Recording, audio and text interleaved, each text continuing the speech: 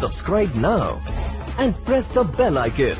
Never miss an update. केंद्रीय गृह मंत्रालय के राज्यों के बीच आवाजाही खोलने के निर्देश के बाद भी राज्य सरकार इस मामले में जल्दबाजी के मूड में नहीं है मुख्यमंत्री त्रिवेंद्र रावत ने साफ़ किया है कि केंद्रीय गृह मंत्रालय के पत्र के अध्ययन और उत्तराखंड की परिस्थितियों को देखकर ही आवाजाही खोलने पर कोई फैसला लिया जाएगा केंद्रीय गृह सचिव अजय भल्ला ने हाल में सभी प्रदेशों के मुख्य सचिवों को पत्र भेजकर राज्यों के बीच आवाजाही खोलने के निर्देश दिए थे।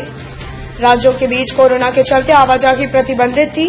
केंद्रीय गृह सचिव ने राज्य और देश में एक से दूसरे प्रदेश के बीच लोगों और सामान की आवाजाही पूरी तरह खोलने के निर्देश दिए हैं। उत्तराखंड में अब भी बाहरी राज्यों से आने वालों को लेकर मूवमेंट फ्री नहीं है। राज्य में कोरोना के केस के आने का सिलसिला जिस तेज़ी से बढ़ रहा है, उसे देखते हुए सरकार आवाजाही पूरी तरह खोलने से पहले सभी पहलुओं का अध्ययन कर रही है।